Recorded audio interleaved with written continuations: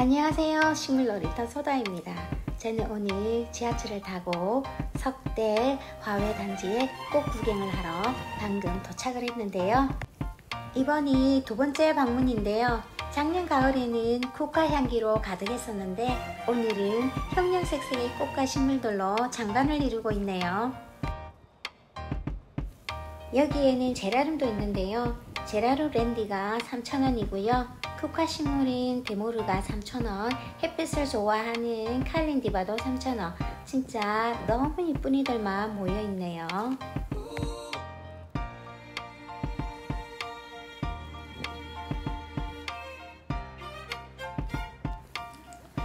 우리 집 거실에도 있는 보로니아인데요 허브 향이 솔솔한 피나타는 향수로도 유명해서 그만큼 향기가 좋은데요 향기만 좋은 게 아니라 향기도 달달해서 집에서 키우기에 추천해주고 싶은 식물이에요.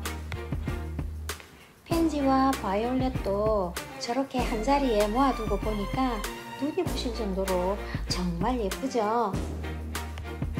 여기는 화분 토분을 판매하는 곳인데요. 크기와 모양이 다양한 다육 화분부터 큰 식물을 심을 수 있는 대형 화분들로 갖추어져 있어서 찾는 사람들이 많이 있었고요. 도로에서 머지않은 곳에 골목으로 발길을 옮기자 길게 늘어선 꽃집들이 와 꽃이 정말 많죠?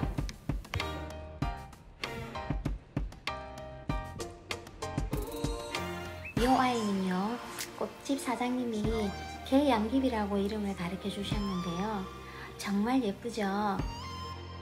오늘 화훼 단지에 온 이유가 바로 이 아이를 데려가기 위해서 왔는데요 마치 양지 바른 길가에 바람에 하늘거리고 있는데 너무 귀여운 거 있죠?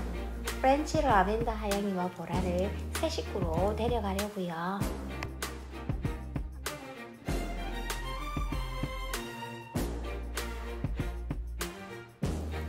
이왕 식물 구경 온 김에 다육이 구경에 나섰는데요. 여기 보이는 다육이는 레드벨벳이 아니라 살구미인이라고 하시네요. 레드벨벳은 가격이 더 비싸다고 하셔서 살구미인으로 담기 성공!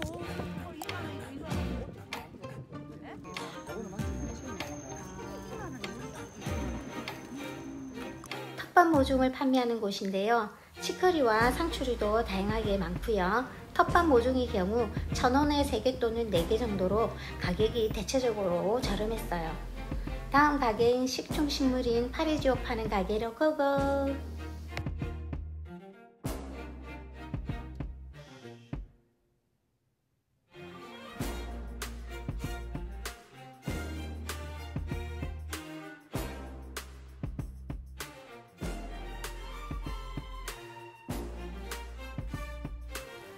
해운대 석대화훼단지는요 대체적으로 가격이 저렴하고요. 사장님들도 친절하였어요. 오늘 영상은 여기까지입니다. 안녕